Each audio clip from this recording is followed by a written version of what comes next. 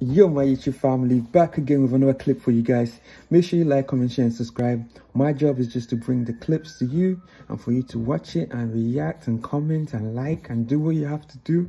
Yeah, so just do that. I'm gonna put the clip at the end, so you guys should watch it. Do your job. Let's go. Hip hop is this one, two, three, four, hit, ah, and ah. The, the more relaxed you are, that's what makes it hip hop.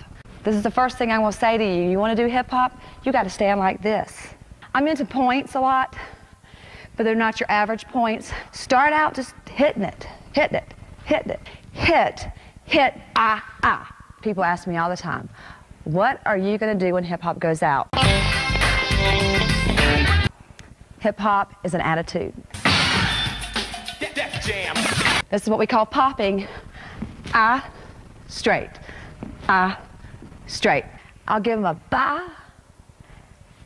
They look at me like I'm crazy. And then I give them the peace. I'm out.